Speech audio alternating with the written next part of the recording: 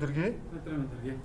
За тэгэхээр бид нар өнөөдөр бол ерөөхдөө энэ ялангуяа албан бос хөдөлмөр эрхэлж байгаа жижиг дунд бизнес эрхэлж байгаа тийм хойрог ирэх тодорхой бизнес эрхэлж байгаа иргэдийн маань хувьд бол за нийгмийн эдийн засгийн хүндрэлтэй юм нөхцөл байдал бизнесээ эргээгээд сэргээхэд те ямар асуудлууд хүндрэлтэй болоод байдгийг за нөгөө талдаа тэдгээр иргэд маань үйл ажиллагаа хэвэн явуулаад ирэх гэхээр төрийн ямар нэгэн зохицуулалт нь өөрөө тэдгэрийн үйл ажиллагааг хаан богдос үйл ажиллагаанууд гарч ирээд байна гэдэг асуудлыг ярьж байгаа. Тэгэхээр энэ дээр За яриаг бол хоёул ингэж эхлэе. Шудраг хурцлаа хэрэгжийн төлөө газар дээр ирж байгаа гомдол мэдээлэл дийлэнх нь одоо ямар шинж чанартай гомдол мэдээлүүд ирдэг юм бэ те. За үүнээсээ ялангуяа жижиг дунд бизнес эрхлэгчид маань за хоорой бизнес эрхэлж байгаа иргэдийн маань хувьд бол төрийн ямар хаалтыг одоо саад болоод байна гэдэг гомдлууд байдیں۔ Аа, шудраг хурцлаа хэрэгжийн төлөө газар бол 11 сарын 11-ний өдрөөс бүхний тийм бэлэн бэлэн зэрэг тогтоосон. Үүнтэй холбогдуулаад засгийн газрын тогтоол улаан усан онцгой комиссын гаргасан шийдвэрийн дагуу хүнсний өргөн хэлний бараа бүтээгдэхүүн за түүн дотор бол стратегийн бараа бүтээгдэхүүн тэр бол хяналт тавьж ажиллаж байгаа. Ямар хяналт тавьж байгаа гэхээр үнийн хөрөгдөл өсөхгүй байх, зохиомжтой хомсдол өсөхгүй байх. Үүн дээр бол ажиллаж байгаа хэмжээний дагуу. Аа өнөөдөр бидний өнөөдөр бидний хувьд бол ярьж байгаа нэг зүйл байгаа. Тухайлах юм бол захуудын асуудлыг гаргаад тавьсан бааз. Улаанбаатар хотын 2014 оны одоо 6 сарын Улаанбаатар хотын захирагч буюу одоо тухайн үед Батүл гаргасан шүү дээ. Батүл даргын гаргасан захирамж дээр бол одоо хүчил шонхор зах наран тул 2 гэдэг захыг өглөө 5 цагт онгоох боломжтойгоор а бусад захуудыг бол 10 цаг 9 цаг гэдэг ингээ хязгаарлалтууд нь хийцэн. Ийм цагийн хуваар хүртэл байгаад байна. Тэгэхээр таны саяны яриад байгаа нөгөө төр ямар тохиолдолд яагаад хувийн бизнес а ялангуяа энэ жижиг дунд за тэгээд ерөн зүгээр аж ахуй нэгжүүдийн өрсөлдөөн дээр аль нэг газар нь давуу байдал болоод байгаа. Тэ? Ийм асуудал ярьж байгааз. Яагаад гэхээр одоо жишээ нь өглөө хонгоож байгаа, эрт хонгоож байгаа хоёр цаг дээр бол эрт үйл ажиллагаа явж штэ. Ялангуяа тэнд бол бөөний төвөд ажиллаж эхэллээ. Бусад захууд дээр 10 цагаас нааш 9 цагаас нааш онгох боломжгүй учраас эн чинь үйл ажиллагаа нь өөрөө хязгаарлагчд байгаа зү. Тэгэхээр энэ дээр ямар асуудал байна гэхээр миний саяны хэлээд байгаа төр хэрвээ хязгаарлалт хийж байгаа бол тэрийг бүх аж ахуй нэгжүүдийн өрсөлдөөнийг хязгаарлах зорилгоор өрдөөсөө хийж болохгүй. Тэгэхээр Улаанбаатар хотын 14 оны гаргасан энэ захирамж дээр бол яа харахгүй өрсөлдөөнийг хязгаарласан зүйл бол байна. Тийм учраас төр альва байдлаар өрсөлдөөнийг хязгаарлах үйл одоо үйл ажиллагааг өөрөө явуулмаарг байгаа. Аа саяны таны хэлж байгаа тэр аж ахуй нэгжүүд дээр одоо ямар дэмжлэг байх вэ гэдэг дээр бол яг төрийн зүгээс банк ус санхүүгийн байгууллагууд гэдэг хэдэн чагсаалтууд гарсан шүү дээ. Тэгсэн. Нөгөө ус, цахилгаан, тог, хог, сууринууд тий а тэгэлж байгаа ийм процессуд байгаа даа тий. Тэгэхээр энийг бол бас төрийн тодорхой хэмжээний явж байгаа дэмжлэг гэж харж байгаа нэг талтай.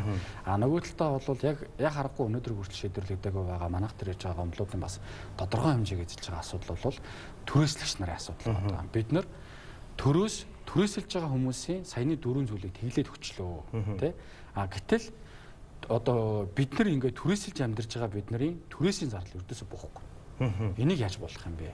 А бидний өгж байгаа хариулт бол эн чинь өөрөө нөгөө засгийн сарын төвшин шийдэх хэвээр асуудал учраас бид нар юу гэдэг аливаа нэг аж ахуйн нэгж дээр тэр ч гэсэн бас үйл ажиллагаа явуулж байгаа бизнесийн байгууллага. Та нар надад түрээсээ буулгах гэдээ очиод хэлэх нь өөрөө эрх эрхцээ хувьд бол ямарч боломжгүй асуудал واخхой. Шудраг хурцлтын хэрэглэгчийн төлөө газар тэгэхэр чин ямар гомдол маргааны шийдвэрлэдэг болж харагдаж байгаа. За жишээлбэл За та жишээлбэл бид нар түрээс буулга гэж хэлээд очиж чадахгүй гэж хэлж байна тийм үү? А гэтэл зарим нэг иргэдийн аж ахуйн нэгжүүдийн хувьд болохоор төрийн байгууллагын дэргэд үйл ажиллагаа явуулдаг. Төрийн байгууллага түрээс төлдөг ийм аж ахуйн нэгжүүд байгаа гэдэг. Тэгээд тэдгээр аж ахуйн нэгжүүд жишээлбэл таны саяны хэлээд байгаа За ингээд төрөөс тодорхой хэмжээний хөнгөлөлтөнд хамрагдахааргүй аж ахуйн нэгжүүд болчиход байна л да. Ягаад гэвэл төрийн байр нь төрийн хамааралтай газруудад төрөөс төлж ажилтдаг амьдардаг аж ахуйн нэгжүүд байгаа шүү дээ. Тэр энэ дээр жишээлбэл тэр тэр газрын иргэд маань бол тэрийг тэр чиглэлээр үйл ажиллагаа явуулдаг иргэдийн маань бол гомдлоо бас яг ингэж тавиад байгаа юм л та. Төр ингээд өөрсдөө ингээд хувийн хвшлийнхний дэмжих зорилгоор хөнгөлцөө тийм үү?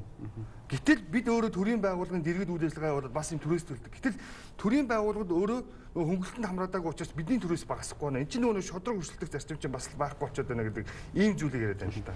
За яг саяны ярьсан дээр бол төрийн байгууллагын байрыг түрээслээ тэрэн дээр миний бидний гарч байгаа түрээсийн асуудал бол ингэж юм гэдэг гомдол санал бол ирээгүй. Нэгдүгээр та. Хоёрдугаарт бол түүнтэй холбоотой асуудлууд бол огч яригдаагүй байгаа.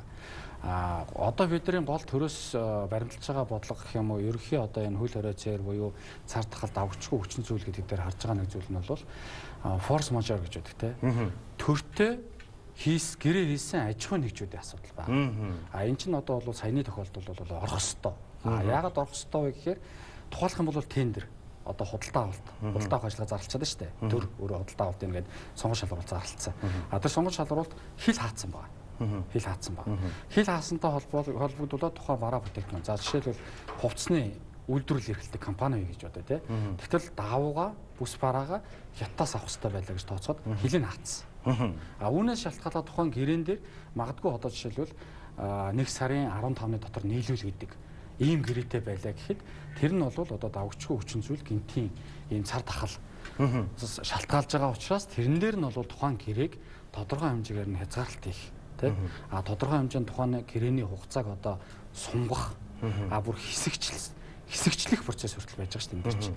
Энэ ажиллагаанууд дээр бол шудрагчтай хөрөлшийн төлөө газар бол ажиллаж байгаа. А би түрүү хэллээ. Ер нь бол зах зээл гэдэг өөрөө юу вэ гэдгийг бид нар аягүй сайн бодох хэрэгтэй. Нийлүүлэлт багасвал эрэлт их байгаа тохиолдолд хомсдол үүснэ. Би болно. Тэ? Хомсдол үүснэ. Энэ бол жишээлбэл эрэлт нь их байгаад худалдаа авалт ихсээд дээ. Гэтэл нийлүүлэлтэнд байхгүй болчихно. Тэгэхээр чи хомсдол үүснэ. А энийг бол зах зээлийн зарчмаар тооцож байгаа. А зохиомл хомсдол гэж юу хэлээд байна гэхээр байсаар байтал тэрийг аваад хадгалаад зарахгүй худалдаалахгүй хэсэг хугацаанд эрэлт бий болгож байгаа шүү дээ. Эрэлтийг зохиомлоор бий болгож байгаад үнэтэй зарах.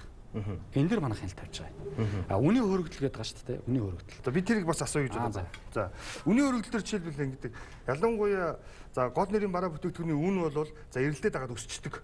Та тангуйцаа хэлээс зах зээлийн хуулиар ингэ зохицуулдаг. Гэтэл эрэлтэд дагаад өссөн нөхцөл буцаагаад буудаггүй нөхцөл байдал би байна. Манай Монголын нийгэм ялангуяа Монголын зах зээл дээр Энэ бол өмнө нь одоо юу гэдэг шатхуун импортлогчнор дээш гарч ирсэн. Ер нь бол импортлогч тодорхой салбаруудаар гарч ирсэн. Тэгээ үн буулгах асуудал дээр танаа газар жишээлбэл манай газар бол үн буулгадаг газар биш. Шудраг ус төрөлшөндөл газар. Үн тогтоодогч газар биш. Энийг үн дээр ажилладаг үнийн өсөлтөн дээр ажиллаж байгаа. Үнийн өсөлтөн дээр ажиллахдаа засгийн газрын болон улсын онцгой комиссийн тогтоолоор бид нар ажиллаж байгаа. Шийд одоо чиглэлээр гэсэн үг шүү дээ.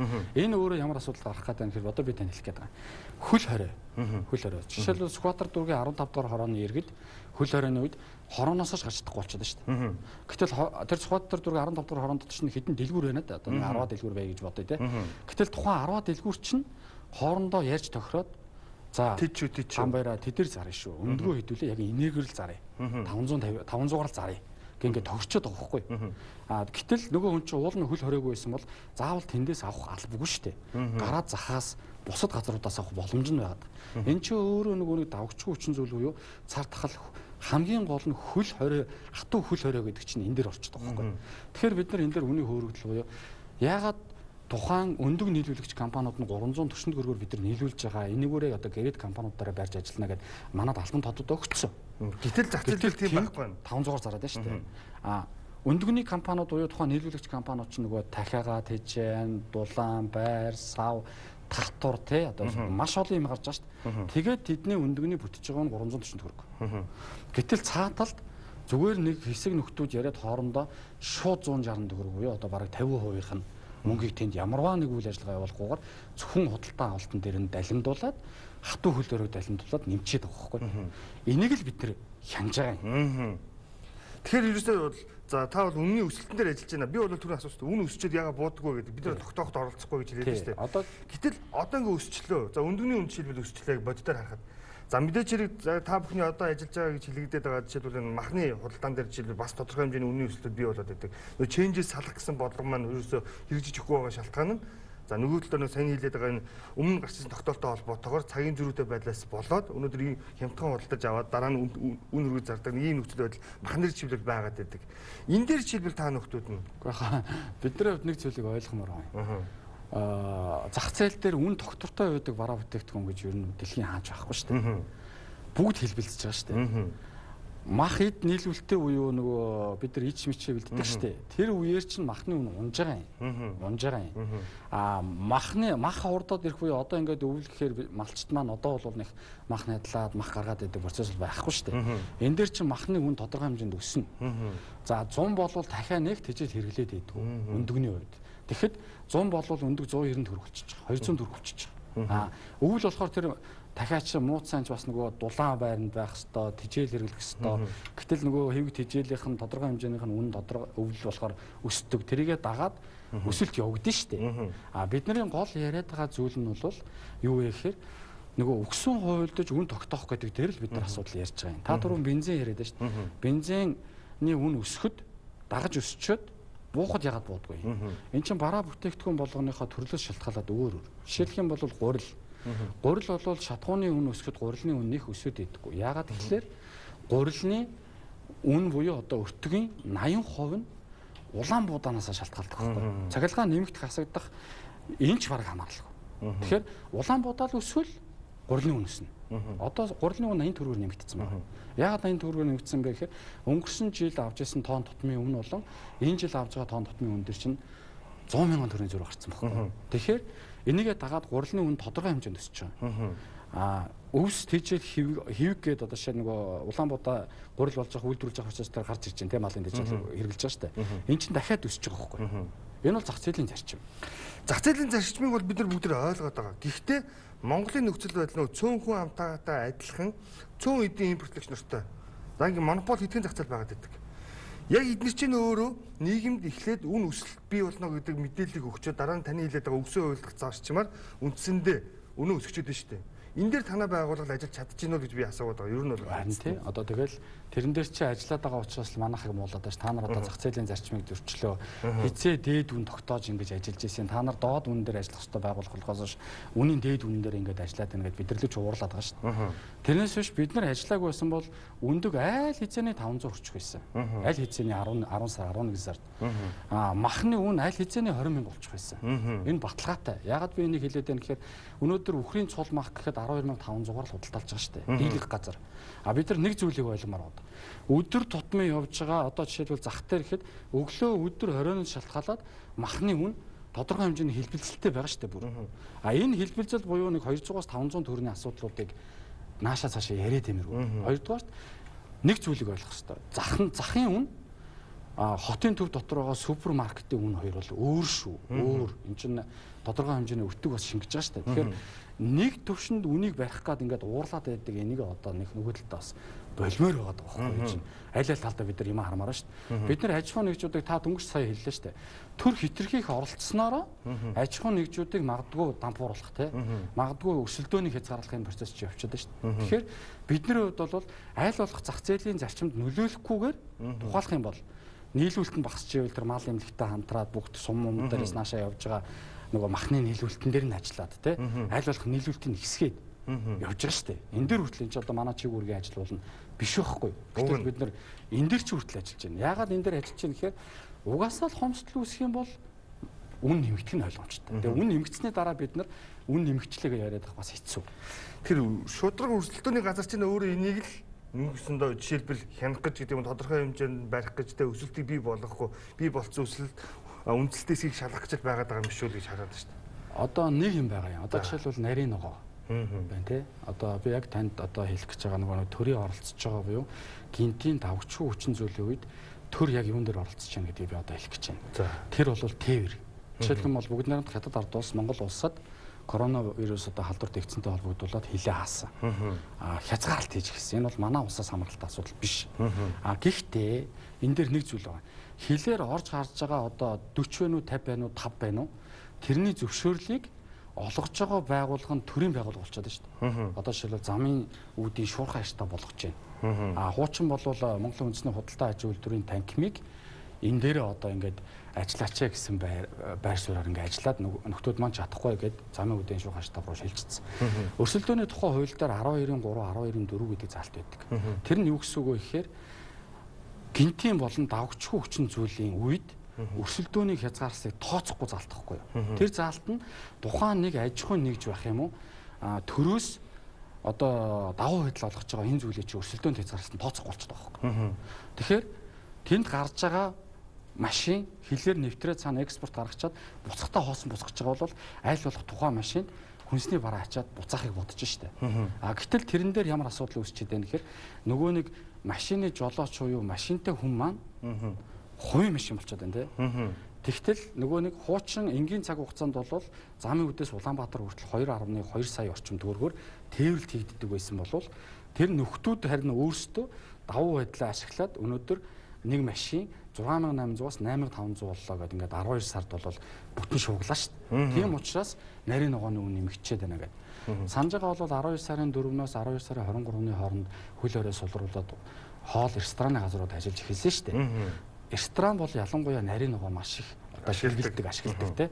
А энэ дэр чинь жишээлх юм бол манайх ресторануудаас яриад яалтч байхгүй нарийн ногооны үн нэмэгдсэн. Нэмэгдсэн. Бид нар нарийн ногоон дээр ямар нэг хязгаарлалт хийгээгүй. Хийхгүй гэдгийг зарлцсан. А рестораны хоолны үн нэмэгдчих гэдэг нь бид нар яах вэ гэд бидрээс асууж байгаа шүү дээ. Зах зээлийнхаа зарчмаар л яа.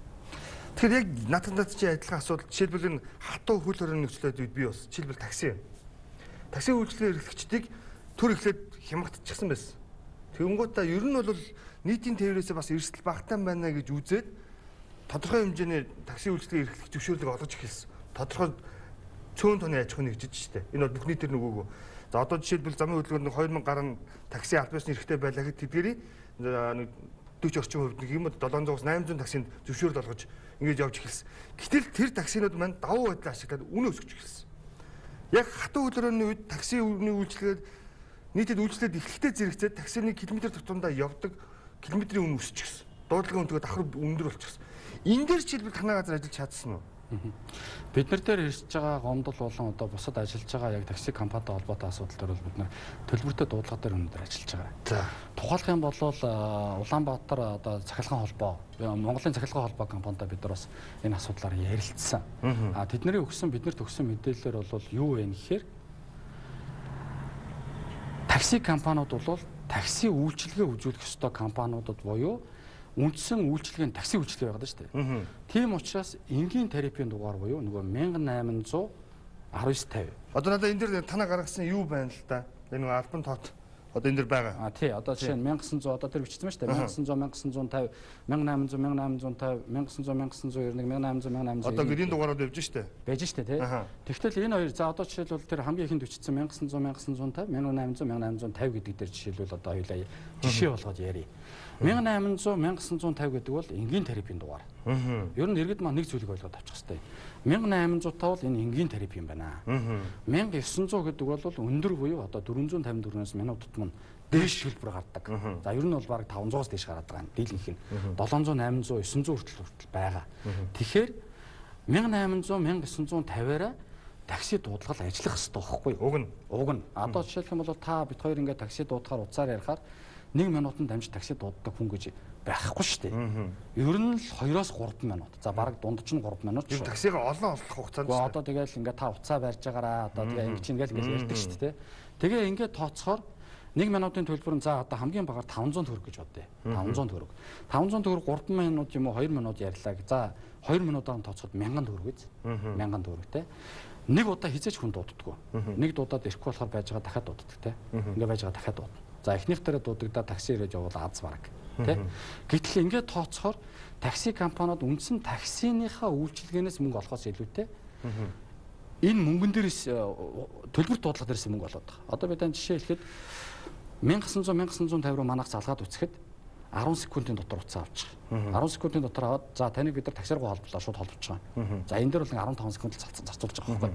А 1800 1950 руу залгаад 1 минутын хугацаанд утас авахгүй. Утас авахгүй. А энийг юу гэж үзэж байгаа нэхэр бид нар худалдааны арга хэрэгжилж байна гэж үзэж байгаа. Өөрөөр хэлбэл 1800 залгаад авахгүй учраас хүн такси эрэхтэй явах хэрэгцээ нь байна. 1906-аар залгана. Тэ?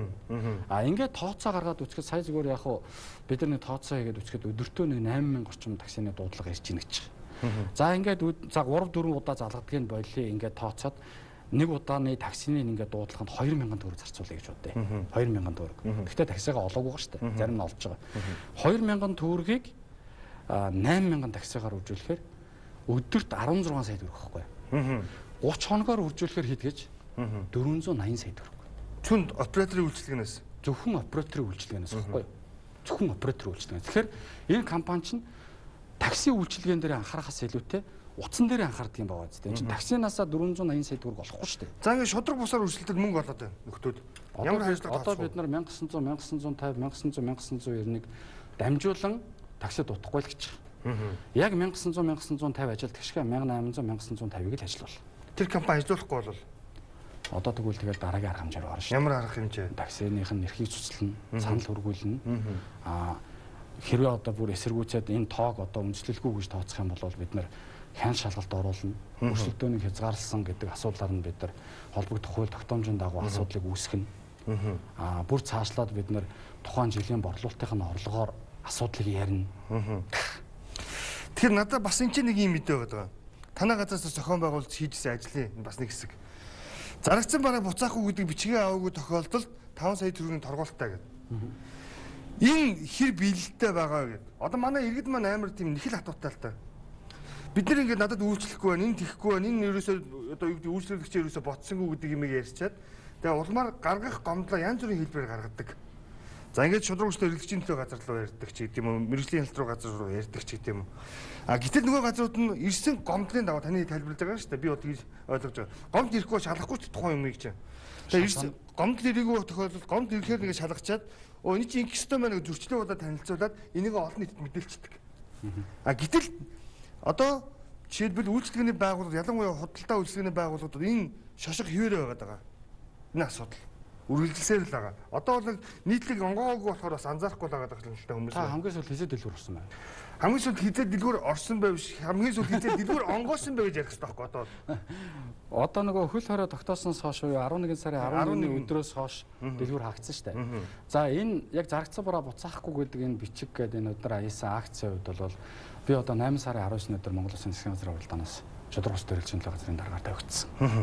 8 сарын 24-ний өдөр энэ үйл ажиллагаа эхэлсэн бохоггүй 5 хоногийн дараа. За. А энэ үйл ажиллагаа эхлээд эхэндээ маш хэцүү байсан. А мэдээж жишээлбэл сэтгэл ханамж одоо юу юу гэдэг ингээ баах юм яриад бид нар бол зарагцсан барааг одоо буцаахгүй байх эрхтэй гэд.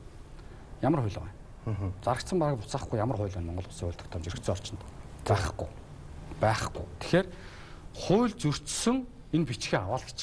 Аа тэгээд ер нь бол наадах чинь 8 сарда бүтэн дуустал яваад 9 сард бүтэн явсан. Аа тодорхой хэмжээний аж ахуйн нэгжүүдээр бид нар арга хэмжээг авсан. Аа намайг ажил авснаас хойш буюу шудраг урсгалтай хэрэглэгчийн төлөөг газар хэрэглэгчийн эрх ашигыг хамгаалж ажилладаг газар байдсан байна гэдэг анхны дохиог өгсөн маш том хэмжээнд өгсөн ажил бол энэ байсан. Аа тэгэхээр би одоо нэг зүйлийг хэлэхэд бол орон нутагт ч тэр зарагдсан барааг буцаахгүй гэдэг бичиг ер нь байхгүй шүү. Ер нь байхгүй. Итгэлтэй юу? Ягаад би ер нь байхгүй гэж хэлж байгаа нэхэр сумын юм уу, аймгийн юм уу бүх дэлгүүрээр бид нар орж чадахгүй. А гэхдээ нэг зүйл байгаа. Ийм бичиг хаддсан байгаа бүх аж ахуй нэгж дэлгүүрийг бидэрт мэдэгдээ гэдэг энэ колл центр ажилласан байхгүй. А энэ колл центр ажиллаад тодорхой хэмжээнд гомдлууд иржсэн бид нар шууд газар дээр нь арга хэмжээ авч яасан. Аргаа бараад 5 сая төгрөгийн торгуулийг бид нар зарласан. Үүний дараагаар аж ахуй нэгжүүд бүр яг энийг би постлсны орой удирдлагууд нь дэлгүүрийн халангууруу яриад худалдагч нараа буцааж ажилуулад энэ бичгнүүдийг бүгдийг авахулж ирсэн шүү. Тэгэхээр одоо бол би баталгаатай нэг зүйл хэлэхэд зарагдсан барааг буцаахгүй гэдэг энэ бичиг бол доор хаяж 80-аас 90% нь бол байхгүй. Байхгүй. А байвал манайх руу ярина манайх тэрэн дээр шууд арга хэмжээ авах гэдгийг бол анхааруулчихсан байна. Тэгэхээр энэ бол үр дүнтэй акц байсан. За. Тэгвэл одоо нэг юм асууя. За сая бол цар тахлын дэглэмтэй за 20 царайтай холбоотойгоор бол тодорхой хэмжээний салбаруудын үйл ажиллагааг бол нээлээ шүү дээ. За энэний хаалтд нөгөө нэг жижиг дунд бизнес эрхлэгчид үлдсэн. Ялангуяа хуурай ажил хөдөлмөр эрхлэх хүмүүс үлдсэн. За ингээд нөгөө нэг алтан бус хөдөлмөр эрхлэгчид буюу ингээд ганц нэгэн өрөө түрээслээд үйл ажиллагаа болдог хүмүүс үлдчихсэн. Тэгэхээр чин төр Өөрөөр нь шодрог ус өрсөлдөөний чинь бий болгоод байгаа юм биш үү гэж хэлэх гээд байна л да. Харин тэгэхээр одоо миний нөгөө нэг өрсөлдөөний тухай хуулийн 12-ын 3 буюу өрсөлдөөнийг хязгаарлалт нь тооцохгүй гэдэг заалтаар тэр нь өрөөд гинтийн давгчгүй хүчин зүйл واخгүй. Одоо хөл орой, хатуу хөл орой, орой зэрэг гэсэн үг. Тэр нь саяны таны хэлж байгаа чинь орчиж байгаа. Хоёр янз юм байна. Нэг нь бол ингээд салбараар нь хаачаад штэ. Жишээлбэл өсчин бол бүтэн ажиллахгүй л гэдэг штэ. Аа зах худалдааны төв ажиллана л гэдэг штэ. Гэтэл өсчин бол салбараараа ажиллахгүй учраас энэ бол нөгөө өрсөлдөөний хязгаарлалтанд тооцогдохоо болчихж байгаа. Аа нөгөө талд буюу нөгөө зах худалдааны төвийг ингээд ажилуулж байгаа мөртлөө нэг хэсэгт нь өглөөр донгоох хэрэг өгөөд нөгөө хэсэгт нь өдөр онгоох хэрэг өгөөд хязгаарлаад байна гэдэг чинь л өрсөлдөөний хязгаарлалтанд тооцогддог байгаа байхгүй. Тэгэхээр бид нар тухайн ажиллаж байгаа салбарууд дээрх өрсөлдөөний асуудлыг бол бид нар хянаж байгаа. Хянаж байгаа. Аа 12-ын 3, 12-ын 4 гэдэг өрсөлдөөний тухай хуулийн заалтаараа өрсөлдөөний хязгаарсан тооцохгүй гэдгээрээ улсын онцгой комисс болон нийслэлийн онцгой комиссаас гаргасан шийдвэрийн дагуу тэр салбарууд бол өрсөлдөөнд одоо хязгаарлалт хийсэн гэдэг тооцохдохгүй гэдэг заалтаараа явж байгаа. Тэр хамгийн гол нь энэ чинь манай редакцид ирж байгаа иргэдийн маань бас тодорхой асуултуудыг би нэгтгэж асуугаад байгаа юм аа. Тэр энэ дээр болохоор том хөдөлтооны төвүүд буюу өөрөөр хэлэх юм бол нэр бүхий томоохон монопол гэж хэлэгдэт байгаа аж ахуйн нэгжүүд бол ажиллаад тэгээд халдвар хамгааллын дэглэмээр сахиад ажиллаж болно гэж хэлчихлээ. Гэтэл хуваарь бизнес эрхлэлдэг нөхдүүд маань болохоор нэг жижигхэн түрээсээ өрөөгийг чинь хичнээн л хичнээнээр ариутгаа сууч чадна шүү дээ гэдэг байгаа байхгүй юу? Харин тэгэхээр одоо миний хэлээд байгаа нь нөхгүй юу? Салбарыг хараад байна шүү дээ. Одоо сая нэг хэсэг баахан шүүмжлүүллээ шүү дээ. Ном соёлын бараа гэдэг шүүмжлэл болоод байгаа шүү дээ. Одоо мэрэгжлийн алтаас дээр чинь нэг ингээ ном бол соёлын бараа учраас соёлын барааг нээхгүй гэдгээрээ одоо номыг бас номын санг бас нээхгүй, номын дэлгүүрөө нээхгүй болчиход байна гэдэг ингээд нэг юм яваад шүү дээ. Тэгэхээр эн чинь нөгөө дэлхийн эрүүл мэндийн байгууллага болон бусад газраас гаргасан тухайн коронавирус юугаар дамжин халдварлах магадлал нь өндөр вэ гэдэг дээр л асуудал яриад байгаа байхгүй юу? Акцент өгöd нь шүү дээ. Акцент өгöd нь шүү дээ. Тэр нь өөрөө зөвлөмжөөрөө л яваад байгаа байхгүй юу? А тэрнээс жишээлх юм бол юу гэдэг яг хөө миний сонссноор би бол одоо тэр чиглэлийн эрдэмтэн биш, судлаач биш, мэрэгчлэлтэн би биш. Тэгэхээр нөгөө нэг үс чинь яга хаагаад байгаа юм байдаг шүү дээ. Үс чинь чинь ингээд нөгөө нэг хайчлагаар энэ үсний маш олон ших хүч нь үсэрдэг юм байна л да ийшээ тийшээ нэгдүгээрт. Хоёрдугаарт бол тодорхой хэмжээнд нөгөө эсрэг хүнийхээ одоо магадгүй өсчин гэх юм уу те биеинд нь наалдах одоо тэгээд энэ тэнд нь ингэх юм аа тэгээд өсчин өөрөө энэ халдварыг тех маш өндөр магадлалтай гэдэг ийм л зүйл яриад тэрнийхээ дагуу л нээхгүй юм л гэж би ойлгож байгаа. Одоо миний хүн хүний бодол ч гэсэн одоо тийм л бодолтой мэдээлэлтэй байгаа. Тэр үйлчлэгтэй бүхэн бас яг энэ шудраг өрсөлдөөн хэрэглэгчийн төлөө газрын дараа Бат Эрдэнэс бас За энэ шудраг өрсөлдөөнтэй холбоотой тодорхой мэдээлэл байвал бас асууж лавлах зүйл байвал эфирийн 713-911 дугаарыг уцаар асууж болно. Мөн одоо манай Eagle News-ийн Facebook-ийн Eagle News гэсэн пэйж хуудас руу хандаад өөрсдийн санал хүсэл сэтгэлдээ явуулж болох юм аа. За нэг үзэгч таад бүгдээ. За. Eagle News. Мано. Мано.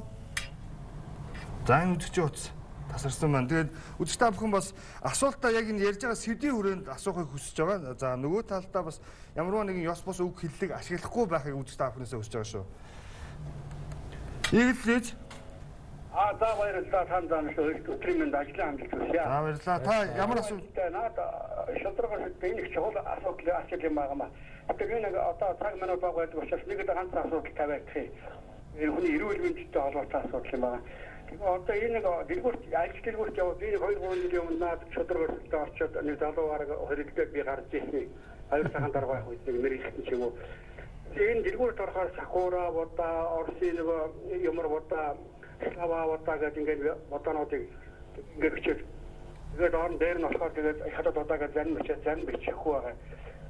Зарим болохоор энэ Европ ч юм Австрали, Японоос зарим ингээд оруулж ирдэг шүү байгаа бас. Яг одоо энэний эсрэг энэ хүний эрүүл мэндтэй холбоотойгоор яриад байгаа гэх юм. Нэг өдрийн муухай хэвчүүдийг ингэж янз янз хаяг тавиад идэх энийг тань тасал өгсөж өгөөч гэж одоо гуймаар байгаа. Энийг л болохгүй бол одоо ерөөс арай дэмжиж даваа эрүүл хийж ерөөсөө хацгаах өндөр нэг хариулт өгөөд ажил харга байна гэж өгөөч. За баярлалаа. Тэгэхээр ерөөхдөө шошго солидог буюу өөрөөр хэлэх юм бол Тэ? Нэг нэг газраас ирсэн бараг олон савлгад олзарж байна л гэж хэлээд байна. За ойлголоо. Тэгээ юуны өмнө уучлал хүсье. Одоо миний удирдах байгаа байгууллага тухайн үедээ одоо чинь аюу сайхан дараа үед ч одоо 15 он гэсэн үг шүү дээ. Бас нэг ингээ хөөж мөнгө гаргацсан юм шүү дээ. Тэн дээр уучлал хүсэж байна. А хоёрдугаарт бол ярих зүйл нь яг энэ дээр одоо бид нар ажиллаж байгаа. Сая шинэ онд амнаад нөгөө шампанскны асуудал гарсан шүү дээ. Шампанскны шампанскны асуудал гарсан. А Слава гэдэг нэртэй будааны асуудал байна. Тэгсэн. А нэршлийн хувьд бол оюуны өмчийнхөө хуулиараа нэршлиг яаж шүүж болж байгаа юм? Нэг асуудал нь. А жишээлбэл Слава гэдэг нэртэй будаа, Слава гэдэг нэртэй одоо эсэн сахар ч юм уу те төрөл төрлөөсөө шалтгаалаад ингэ чинь Монголд нөгөө хэрэглэгчийг төрөгдүүлэх маш олон процессыг яваад штэ. А нэг зүйл байгаад байгаа. Нэг зүйл. А хүнсний аюулгүй байдлын тухай хуулийн 12-ын 6. Тэн дээр юу гэдэг вэ гэхээр импортын бараа бүтээгдэхүүн монгол хэлээр чадвал те а үгүй эсвэл англи орос хэлээр байж болно гэдэг ийм заалттай байхгүй юу? Энэ заалтыг саяны одоо яг саяны ахын ярьж байгаа шошго хэлбэрээр ингээд гуйлах гэдэг юм уу? Өөрсдийнхөө одоо ашиг олох үүднээс өөрчлөд байгаа байхгүй юу? Тухайлх юм бол Монголд үйлдвэрлэсэн бараа бүтээгдэхүүн яагаад англи хэл дээр байгаа? Яагаад орос хэл дээр байгаа? Экспортын бүтээгдэхүүн байж болно. За тэгвэл экспортод гарах гэж байгаа гэдэг утгаараа байхыг бүлээн зөвшөөрнө. А саяны нөгөө нэг шампанскийн асуудал хэрэгцсэн шүү дээ. Тэр шампански одоо жишээлбэл Монгол улс даяараа Советский гэдэг шампанск бол Монгол шампанск юм а гэдгийг ойлголоо шүү. Сая. А яагаад Монгол шампанск гэдгийг ойлгож байна гэхээр гадна талын шошхон хойдолд байдаг нөгөө хаяг орц найрлага бүх юм ба шүү дээ. Бүгд орсоор. Бүгд Орос хэл дээр хаана үйлдвэрлэсэн гэдэг дээр Монгол улс Улаанбаатар хот Баянгол дүүрэг гэдэг ингээ явчихж байгаа байхгүй юу? Үйлдвэрлэсэн компани гингод одоо тэр тэртэй компани ингээ явчихж байгаа юм. Тэгэхээр эн чинь өөрөө юу гэд гараад байна гэхээр яг үнтэй адилхан саяны ахын хэлээд байгаа Слава гэдэг будааг тий шошхын Монголд үйлдвэрлэж байгаа бол Монголд савлж байгаа бол яг тэргүүрэл байх хэвээр. А ер нь бол хаяг шошгон дээр бол мэрэгжлийн хяналтын байгууллага хяналт тавьж ажилладаг. А гэхдээ манайх оролцдог. Ягаад оролцдог вэ гэхээр хэрэглэгчийг хуурах, төөргдүүлэх худалдааны аргаар одоо ашиг болох гэдэг шүү дээ. Тэр чинь өөрөө зөрчлийн тухай хуулиараа 20 сая төгрөгийн торгуултай. А хувь иргэн бол 2 сая төгрөнд байхгүй. Тэгэхээр саяны хахад хандаад хэлэхэд бол манайх яг энэ асуудал дээр бол одоо ингээ ажиллаж байна. А бид нэр зөрчлийн хэрэг жишээлбэл шампанскан дээр нээсэн мэрэгжлийн хяналтын байгууллагатаа нийлээд бүх худалдааны төвүүдээр бараа бүтээгдэхүүний хян шалгалт бол эхэлчихсэн явж байна. За баярлалаа. Дараагийн хэрэг. Тэгэхээр үр дүн гарна гэсэн үг. Аасан мань игэллийз. Аа сайн байна. Сайн байна. Алло. Сонсож байна таныг. Аа таасан төлөвлөрийн Өдөр өдргийа. Тэр юм дөрвөө. Энийг юм хэлсэн юм. Хүнсний бахмуудын худалдагчдад одоо худалдагчдад яагаад ийм байлиг дэгдэх вэ? Эдгээр чинь баргаа автод дондоо нөөцөө бодвол нөгөө компани байгуулсан авчаа гэдэг. Тэгээд ийм байлигын пос юу ерөөсөй байхгүй. Хүсний баян зөвхөн баян зөвхөн худалдагчдад нэг ч тийм өгдөггүй. За ойлголоо. Хоёрдугаар нь хаяг шошиг аюул асуудалтай. Тэгээд үнэлэг гэхэд одоо сая баярын үеэр хичнээн юу үнэн жаа. Тэгээд танаас хэдээр хийж чадаад хэдээр ирсэн үнэлэг гэдэг тодорхой бас дандаа өнөөдөр ирсэн хүчтэй ирсэн ч гэдэг юм. Яг тийм үнэлгэлээр тийм мэрэгчтэй хэлдэг зүйлс ансаар юу байнг тавьмаар байна. За ойлголоо таны цаанаас сонслоо. Тэгээд даалгавар баян зөв захдаг захтар бол би байнг үүсдэг. Нэг ч тийм пост машин ийм бариад өгдөг. За ойлголоо. Тэр яг нөөтийн ий баримт өгдөг асуудал бол ялангуяа жижиглэн худлаар хэлж дээр маш их гараад багш байна тийм үү? Энд дээр та бүхэн маань бас ямар хяналт тавьж Гэхдээ ажилладаг одоо өнөөдөр өглөө 6 цагт татварын байгууллагын нэлээд бид нар цахуудаар хямшилгалт эхэлсэн явж байна. За өнөөдөр өглөө бол хамгийн түрүүнд Эртонгоод гөрн хүчин шохор дээр очисан. За. А хүчин шохор дээр очиод хоёр янз юм аа. Нэг нь гадна байгаа бөөнийхэн байна. А нөгөөх нь дотор байгаа жижиглэнгийнхан байна тий. А жижиглэнгийн хувьд бол бүгдэнд нь одоо QR бол наагаад өгцөн гэж байгаа. Тэгэхээр бид нар уржигдэр доторын байгууллагынхантай уулзалт хийгээд өөрсдөд нь бид нар бодит үнэ хэлсэн. QR-ыг хаа наасан гэж. Одоо бидгээр энэ лангуу штэ. Энийг дөрөв байхгүй. QR-ыг авч наацсан. Ямар ч худал одоо хэрэглэгч худалдаа авахч махаа авчаад тэнд ороо сайгаад QR-ыг олж хин гэж явна гэдэг бол байхгүй заяа амьдралд байхгүй зүйл хэвгүй. Тэгэхээр энэ асуудлыг бид нар гаргаад тавьчихсан явж байна. Аа нэгдүгээрт хоёрдугаарт бол саяны одоо яриад байгаа тэр зах худалдааны төвүүд дээр бөөнчөн жижиглэнч байна. Бүгд нэг зүйл ярьдаг. Нөөт хэрвээ өг баримт өгөх юм бол би 10% нэмнэ гэж ярьдаг. Байхгүй? А энэ чинь хуулиараа бол эцсийн хэрэглэгч төлөхөл хуультай шүү дээ. А тэгэхээр энэ дээр ямар асуудлууд байна гэхээр нэгдүгürt баримт өгөхгүй байна. Баримт өгөхгүй байна гэдэг бол Монгол улсад 70 эдийн засаг одоо хүртэл байсаар байна л гэсэн үг. 70 эдийн засгийг ил болгохын тулд өршөөлийн хүн тухай хуульч нь бол хэрэгцсэн шүү дээ. Тэгээд хоёр тайлантай компани нэг тайлантай бол та орлогоо мэдүүлгээд ийм нэг зүйл яриад байгаа. Тэгэхээр энэ дээр бид нар яг зах худалдааны төв дээр байгаа одоо худалдаа эрхлэгч нар бол ямар ч нөөтийн тухай ойлголтгүй байна. Өнөөдөр юу гэж ярьж байгаа гэхээр махны хувьд дөрвөн ченж байдаг. Ченж тутамдаа 10 10 10 10% нэмвэл нэг үхрийн мах 40% нэмэгдэлтэй очно гэж хэлээд тэр ард иргэд буюу хэрэглэгчдийг тэр хүмүүс хураа зогсож штэ. Та баримт өгөөч гэхээр тэгвэл 40% нэмэгдэлтэй. Ийм яриад байгаа байхгүй. Энд чинь өрдөөсөө тийм биш. Тэгэхээр бид нар татварын байгууллагатай өнөөдөр шинэ шалгалтууд хийгээд хэлсэн. Өнөөдөр бол татварын байгууллагын 10 албан агч бяцхан байцаагч нар а манай байгууллагаас бол 4 албан агч ингээд бүх зах худалдааны төвдөр ороо явж байгаа. Тэгэхээр бид нар энэ 70 эдийн засаг зөвхөн махан дээр гэж бодоорой. Бид нар тооцоог нь харж үзье. Зөвхөн махан дээр төлбөрийн баримт буюу одоо нөөтийн баримт олгуулах. Нөөтийн баримт хоёр янз шүү дээ. Нэг нь нөөт төлөгч болсон байж ич нөөтийн баримт олгож байгаа тийм. А нөгөөх нь бол QR гэдэг өгöd байгаа шүү дээ. А гэтэл энэ дээр ямар асуудлууд одоо шинэ зөвхөн махан дээр ингээд тооцоод үзэхээр жилд 70 эдийн засаг буюу 300 бараг 70 тэрбум төгрөгийг зүгээр л усын төсөвт орох хэмжээний зөвхөн махны худалдаан дээр шүү явж байгаа шүү. Тэгээ та одоо нөгөө барилгын материалын дэлгүүр 100 айл одоо юу гэдэг бүгдийг бодоод үзвэл зүгээр л нэгээс хоёр их 80-ийн 70 эдийн засаг бол хамгийн багтаа ингээд Иргэдийн гар дээр байна л гэсэн үг. А дээрэс нь бол гол өнөөдөр яриад байгаа бол тэр үнийг заавал тавих хэвээр. Хоёрдугаар QR-ыг заавал тавих хэвээр. Хэрвээ одоо нөөц төлөгч бол тэр захын нэг одоо бөөний нэг худалдаа худалдаач хэлж байгаа шүү дээ. 50 сая төгрөг гээд. Өө тэгвэл наа чин бидний 7 хоног хүрхгүй л хэмжээний мөнгө юм биш тэгээд ингэж байгаа байхгүй. Тэгэхээр бүх бөөний худалдаач нь нөөц төлөгч болно л гэсэн үг байхгүй энэ чинь. Тэгэхээр энэ дээр бид нар арга хэмжээ авч ажиллаж байгаа. Ямар ч байсан тодорхой хэмжээний үр дүнг бол бид нар доторын байгууллагатай нээлж байгаа гарганаа л гэж ойлгох хэрэгтэй. За баярлалаа. Одоо нэг үзэгтэй болов. За. Игэл зэрэгний мэдээ сонсч байна таныг? Oo, ben yung юуны үгээр ягдсан. Ямар Захын уналталтааных нөөцийн баримт юусэн гаргаж өгдөггүй. За дөнгөж сая энэ асуудлыг уучлаарай агчаа. 100 мянгаас дээд бараг 200 мянга юм авч байгаа шүү дээ. Тэр баримт юусэн өгдөггүй. За ойлголоо. Тэр яг энэ хүний ярьж байгаа асуудлыг бол сая бол ярьчихсан. Ерөөхдөө бол ойлгомжтой. За энэ засвар бас нэг үзэг- үзэгчдээс ирсэн асуултуудыг нэгтгэж байгаа учраас бас энэ асуудлыг их хэрэгцээ. Юу вэ гэхээр та нөхдүүд маань интернет үйлчилгээ үзүүлэгч компаниудтай уулзалт хийж а, тодорхой хэмжээний асуудлуудыг ярилцсан гэсэн мэдээллийг бол өмнө нь ингээд тавьж ирсэн тийм ээ.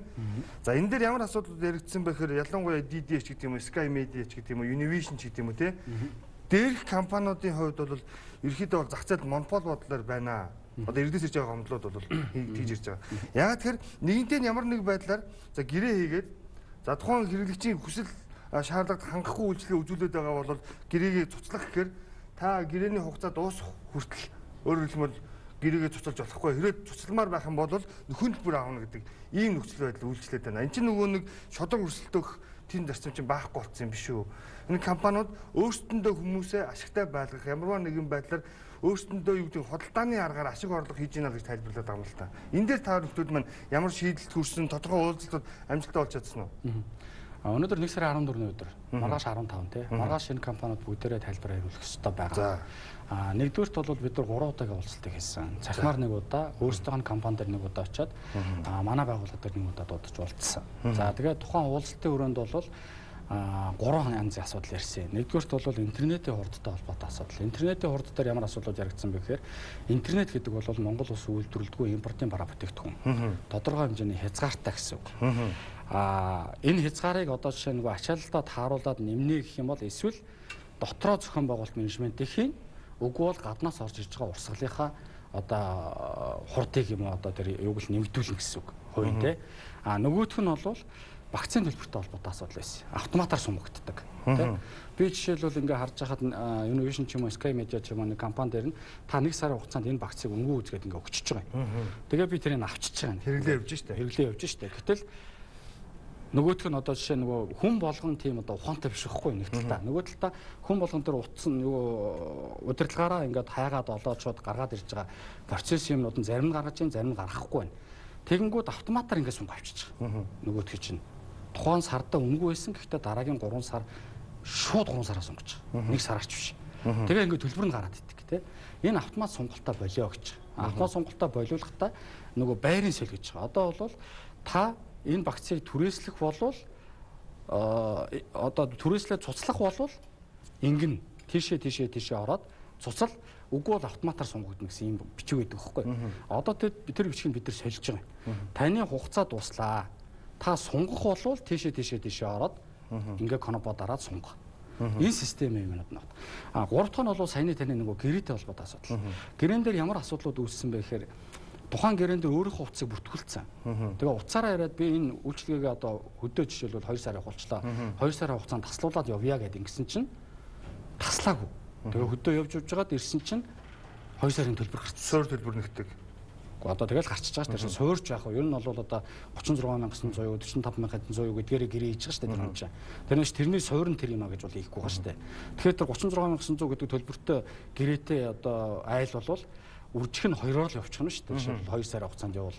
Тэгтэл нөгөө хүн дээр гарч байгаа гомдол нь ихээр яг тэр гэрээнийхаа дагуу холбоотой утсаараа бид нар уцтаж мэдгцээр байтал танах ангисангүй гэдэг. А дээрэс нь авах болохоор уцаар авчаад идэг. Захиалга. Одоо би 36900-ийн багцаа 45900 болгоо. Яагаад тэгэхээр Ав- интернетийн хурд баг байна. Баг байна гэдэг одоо ингээд нэгс нь апдейт хийж штэ. Тэр нь уцаараа болчиход идэг. Уцаа 45100-аас 34-г орё гэхээр та уцаар хийхгүй ирж хий.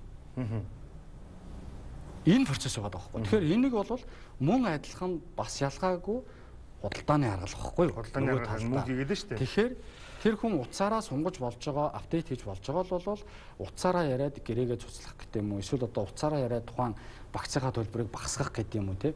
Энэ үйл ажиллагааг хэрэглэгчийг одоо сэтгэл ханамж дээр тулгуурлаж хийж өгөөл гэдэг энэ асуудлууд дээр явж байгаа. Тэр маргааш бол- эцэлэгдэн гэсэн бодолтой байгаа. За баярлалаа. Одоо нэг үзэгтэй холбогдоод байна. Ийгэл зэрэгний мэдээ сонсож байна. Байна. Аа бан сайн байна уу? Аа за сайн байна. За та ямар зүйл лавлах вэ? А би нэ банкны хүүний талаар ярьсан. За бид өнөөдөр энэ шудраг хөрсний эргэлтчийн төлөө газартай холбоотой санал гомдлын сэдвээр ярьж байгаа. Энэ яг сэдвийн хүрээнд ярьж байгаа сэдвийн хүрээнд танд бол санал байна уу? Байна. За. Одоо энэ ялангуяа энэ банкны хүүдэр бол арай л шудраг байдлаар нь хандаад шиг санагдаад. Ялангуяа 8% одоо энэ эхний ингээд тав чи хүүнийхээ 90% нь банк нь авчаад явж явж явж явж хамгийн сүүлд хүүдэр эхлээд а үнцэн төлбөр захдаг ч юм. Энэ бол бүр зүгээр л дээр нь хийгээд байгаа байхгүй. Энэ дээр сурдаг улстай газар ч юм уу Монгол банктай хамтарч байгаа Монгол дээрээ лизингтэй байрны 8% зээлтэй чинь энэ гэрэн дээр нь банкуд хийх гэрээ тэр хүүгийн тооцдог аргачлал зөв аргачлал дээр нь ажиллаж өгөх болдгоо юм бол За ойлголоо. За энэ гомдол бол бас ялангуяа банк санхүүгийн салбар зээлтэй иргэдэд бол асар их хэрэгдэг. Хүү бол асар өндрөө. Бид үндсэн мөнгөөр ерөөсө асалт хийх чадахгүй байна гэдэг гомдол гэсэн үг шүү дээ энэ чинь. Энд дээр та нөхдөл маань судалгаа хийсэн зүйл байдаг. Ер нь ажлын төлөвлөгөө чинь бий юу? Одоо сая оны өмнө бол одоо улс эх орондоо яриад улсын хурлын гишүүд энийг ярьлаа шүү дээ. Хэмжээний хүүгийн Мм. тэгжээ зээлийн хүүгээ багсгыг гэдэг тийм. Ийм нэг санхүүгийн зах зээл дээр нэг юм гурван юм байгаа юм. Нэг нь бол банкны асуудал байна. Энэ бол нөгөө банкныхаа тухай хуулиараа Монгол банкнд хариалагдаад авчдаг. Хяналтын дээр бүх юм. Аа банкуд санхүүгийн байгууллагын санхүүгийн зохицуулах хариалагдаад Тэгээ. авчдаг. Бүх хязгаарлалт, бүх одоо хяналт шалгалт хамаг юм тэрэн дээр яваад. Аа тэгэнгүүт нөгөө ламбаар таллан зээлийн хошоо үлчээд үлчээд байгаа. Тэгэнгүүт тэр нөгөө хэрэглэгч гэсэн утгаараа манах орчод байгаа. А бид нар бол банкны асуудлуудыг ярьж байгаа. А банкнуудаас банкнууд руу тодорхой албан тоотуудыг явуулаад ингээ харьцахаар манайх бол Монгол банкнд хариалагддаг. Банкны тухай Монгол банкны тухай хуулиараа бид энэ асуудлыг шийдвэрлэгдэнэ. Танад бол ямар нэг мэдээлэл гаргаж өгөхгүй гэдэг ингээл зогсчих.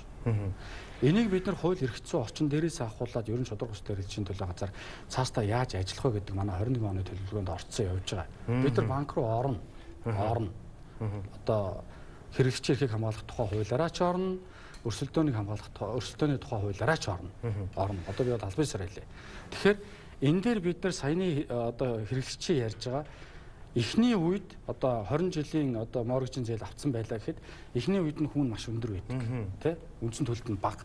Тэгээд 7 жил юм уу эсвэл 6 жил 3 жил төлөөд эргээ хартал үндсэн төлбөрөөс нь маш бага хэмжээний мөнгө төлөгдөөд а хүүний маш хэмжээний мөнгө төлөгдсөн байдаг.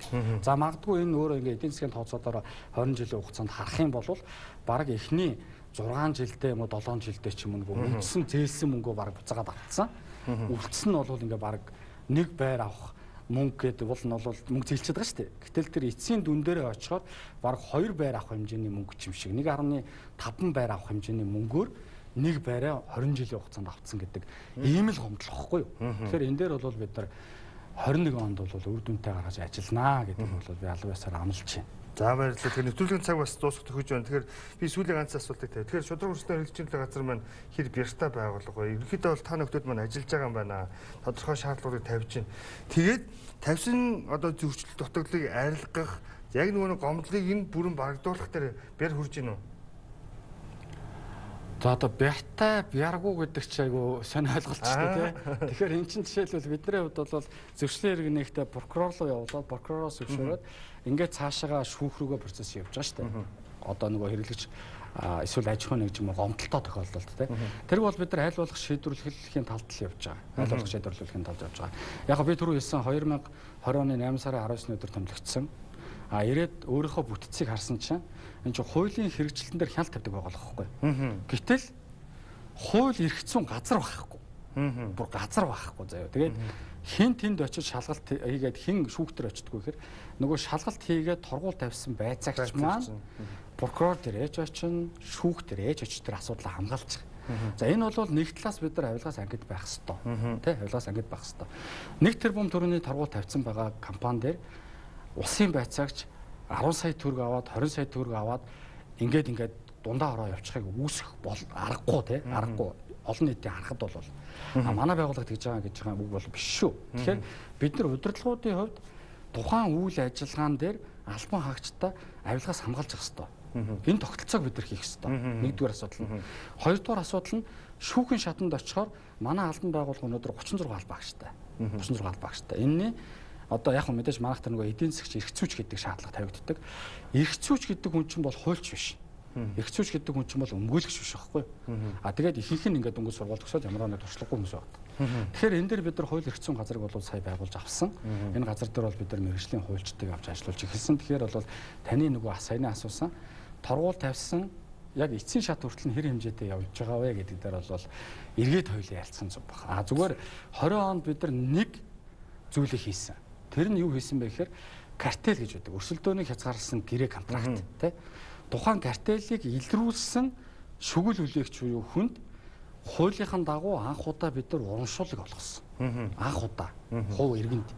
Тэгэхээр энэ юу гэсэн үг гэхээр манайх заавал 100 албан хаагчтай эсвэл 200 албан хаагчтай очиж ажил үүргээ гүйцэтгэх ёстой асуудал биш. Бид нар хууль хэрэглээд нөгөө эрх зүйн чадамж нь юу вэ гэдэг тал дээр л таны сайн хэлээд байгаа нөгөө бярта бяргу гэдгийг шийдэгдэнэхээс ш. Тэ. Дээрс мэдээлэл бол үнэхэд бол үнэлээд эхэлсэн байна л гэж товчхондоо бол ойлгож болно зөв. Баярлаа. За баярлалаа. Тэгэхээр үзэгчтэй өнөөдрийн бас иргэний мэдээ хөтөлбөр маань энэ хүрээд өндөрлөж байна. Тэгэхээр өнөөдөр иргэний мэдээ хөтөлбөрийн зочноор шудраг өрсөлдөөн хэрэглэгчийн төлөө газрын дараа Бат Эрдэнэ оролцлоо цаг зав гаргасан байна баярлалаа. За баярлалаа. Маргааш энэ цагтаа иргэн уулзъя.